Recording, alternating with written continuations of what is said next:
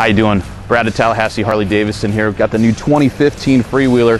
Uh, bringing it to you. We've got the new 12-inch ape hangers, bringing that bike back to you to the front. Beautiful custom stitch seat.